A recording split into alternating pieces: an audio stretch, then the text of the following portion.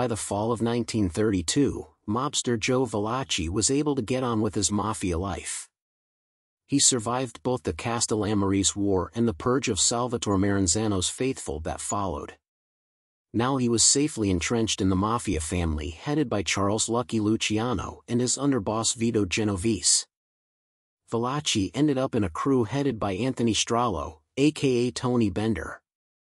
In the book The Valachi Papers we learn that Joe received his first contract and his new role from Tony Bender in the autumn of 1932 the contract was handed down from Genovese to Bender who in turn gave it to Valachi.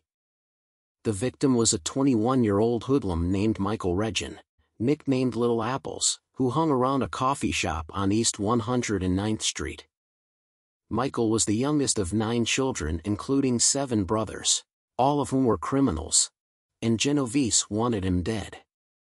According to Tony Bender, two of Michael's brothers had messed with Luciano and Genovese in the early days and were killed as a result.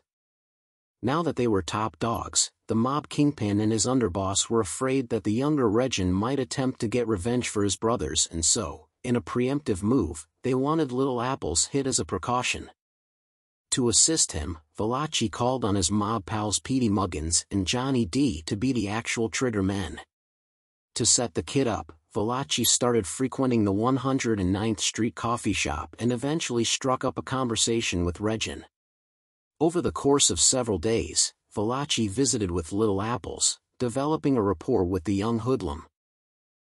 On November 25, 1932, four days before Michael's 22nd birthday, Valachi made his move. While chatting with Regin at the coffee shop, he suggested they walk over to a tenement over on 110th Street where a craps game was in progress.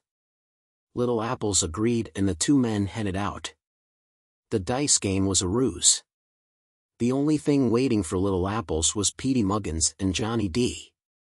As they walked up to the building Valachi fell behind as Regin entered. Hiding inside were the gunmen who fired several shots into Regin's head. It was a successful hit. Valachi and his Confederates got away and Luciano and Genovese didn't have to worry about Michael Little Apple's Regin avenging his brothers. But a look at the record shows that Luciano and Genovese were never worried about Little Apple's trying to avenge his brothers, by the simple fact that his brothers were still alive. All of them. Which begs the question. Why the hit?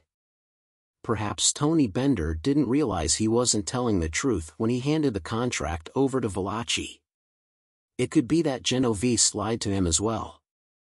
Valachi probably didn't know it, but even though Little Apples hung out around East Harlem, he was actually from Lower Manhattan. His usual address was 125, Thompson Street. For some reason he wasn't comfortable in the old neighborhood. Why? Petey Muggins, one of those who put the fatal bullets into Regin's head was familiar with Thompson Street.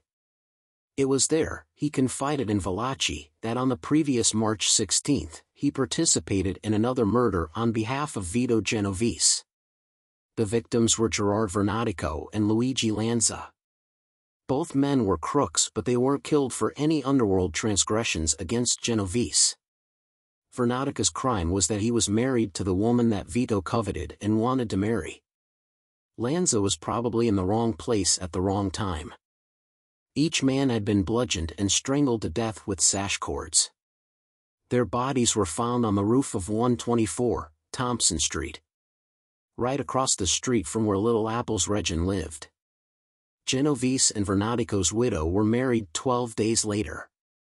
Another curious address from Thompson Street was number 174. This was where Michael's older brother Louis lived up until that spring. Called Fat Elevator, Louis was part of a counterfeiting ring that was busted in early 1932. He was sent away in April. Interestingly just across the street at 175 Thompson was Vito Genovese's Manhattan residence. Like Louis Regin, Vito had been arrested for counterfeiting back in 1930.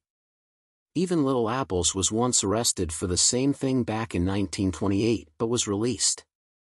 Although none of Michael's brothers were killed before him, three would follow him to an early grave.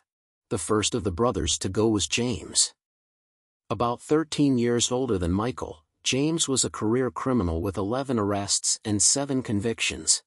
An arrest for narcotics took place in 1914 and he was placed in New York City's prison, known as the Tombs. Inside there was a special cell block designated for drug addicts and after Regin was incarcerated authorities noticed that the addicts were getting a steady supply of drugs from the inside. James's brother John came to visit him every day and after one visit a guard noticed that John walked out wearing black shoes, which struck him as odd because he entered wearing tan ones. When John arrived the following day, detectives took his shoes and found that both heels had been hollowed out and contained both heroin and cocaine. On each visit he would simply exchange shoes with his brother. John of course was arrested and joined James in prison. In 1926 James was sentenced to 15 years for robbery. He was serving this sentence when Michael was slain. After serving about eight years, James was paroled in December of 1934. Interestingly, he didn't return to the old neighborhood. Instead he moved to the Bronx.